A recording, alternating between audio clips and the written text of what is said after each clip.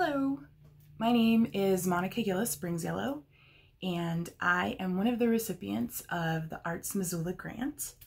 I am a painter and I am a fluid artist, and I use my art as a way to tell a visual history from an Indigenous perspective. And I primarily focus on including portraits of Native American Montanans, and I've got got a couple paintings back here. Um, for some time, I've been looking into exploring some different techniques to incorporate into my style, as well as experimenting with some other styles and some other techniques, and also expanding the size of my paintings. Um, but due to being a fluid artist that uses pretty non-traditional methods and also non-traditional materials, things like resin and inks and a lot of additives to make the paint behave in ways that it doesn't normally behave.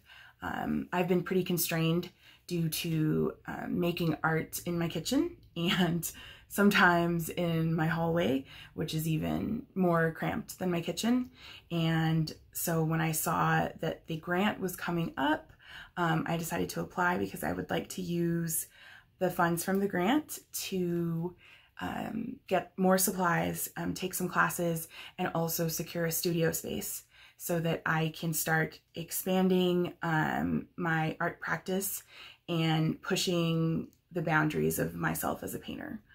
Um, so I'm hoping the combination of all these things um, will enrich my paintings and then also provide me the space and the opportunity to make some pretty cool public art um, for Missoula to see and to continue with the storytelling.